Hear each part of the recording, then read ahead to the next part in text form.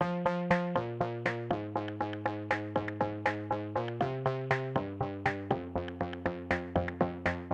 No respiraba. La cacatúa que vivió con Matthew McConaughey y su padre estaba muerta. Tuvo un accidente. Su padre hizo lo imposible por salvarla y lo logró. ¿Qué pasó? Conoce la historia en este video de página 18. Durante 1979, Matthew McConaughey y su padre vivieron en Longview, Texas. Ahí tuvieron una mascota, una cacatúa llamada Loki. Papá amaba a aquel pájaro y el pájaro amaba a papá. Le abría la jaula cada mañana y le dejaba volar por la casa rodante. Posaba en su hombro mientras él se daba vueltas por la casa. Papá hablaba con Loki. Loki hablaba con él. Escribió el actor estadounidense en su libro Green Lights. Loki volaba libre por la casa, solo entraba a su jaula para dormir. La única regla era que debíamos vigilarla al salir o al entrar para que no se escapara, recordó McConaughey. Un día Matthew llegó con su padre a casa y no encontraron a Loki. Lo primero que pensaron fue que se había escapado, pero algo peor sucedió. Así lo escribió el actor estadounidense. Oí a papá en la parte de atrás de la casa. Corrí y me encontré a papá de rodillas, inclinado sobre el retrete. Al fondo, flotando en círculos, estaba Loki. Con las lágrimas resbalándose por las mejillas, papá metió las dos manos en el fondo del inodoro y sacó suavemente a Loki, escribió Matthew. La cacatúa estaba muerta, había caído al retrete y quedó atrapada bajo el borde del asiento. Y entonces algo increíble sucedió.